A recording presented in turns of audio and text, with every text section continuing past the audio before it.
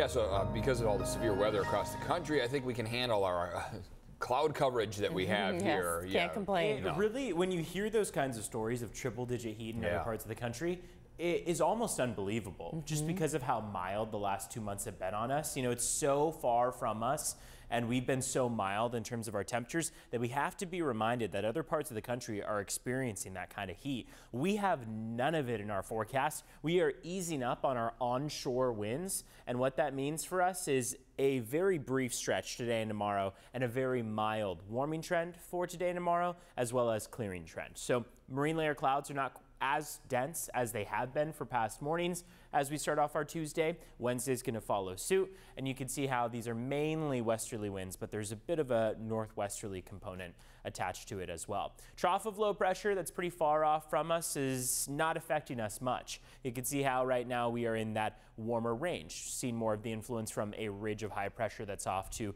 the southeast of us. But Another trough of low pressure is going to sink down. That's going to reinvigorate that marine layer by the end of the week. It's going to uh, cool our temperatures down. So yes, for now, today and tomorrow, things are pretty mild overall. It feels a bit more like summer out there, or at least closer to summer, which officially begins tomorrow. However, by the end of the week, going into Friday, especially as that trough makes its approach onto land, it will cool us down, reinvigorate that marine layer for the end of the week and the early weekend.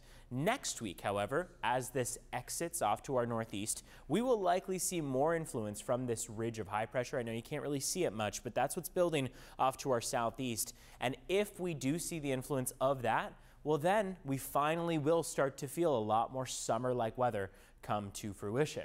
Afternoon highs are in the 70s, 71 for Carlsbad, 73 for Oceanside. Still a couple upper 60s for spots like Del Mar, but they're going to be few and far between. Notice yesterday, Ramona and El Cajon only made it to 75. Today they're going for 78. Campo 79. And the thing is, those winds continue to weaken tomorrow for our Wednesday. And what that's going to mean is even warmer temperatures, even more mild conditions out there. There is a very good likelihood that for tomorrow afternoon, our eastern valleys will make it into the 80s. So aside from the coastline, especially, we're seeing very summer-like weather, you could say. Along the coast, however, that sea breeze is still affecting us, keeping us cooler than average, and still keeping us socked in for the most part. We're really not seeing complete clearing, but we are usually each afternoon seeing some partial clearing along the coastline. So here's your eight day. Between now and next week, you notice that the coast doesn't do much changing. We will, around Tuesday, Wednesday, looks like even beyond that of next week, start to get a bit more sunshine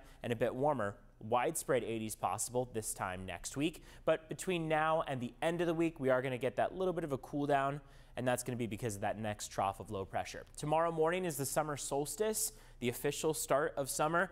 Uh, it's going to feel like it for tomorrow afternoon if you're not along the coast, especially, but then we'll cool down by the end of the week. That marine layer will come back, so cloudy skies again. And then into next week, we'll get a more substantial, uh, likely longer lasting warm up that's on the way. Watch out for that wind across the mountains and deserts again. It's below criteria level for today, but it is still breezy, and then we'll see those winds continue to die down into tomorrow. Carrie?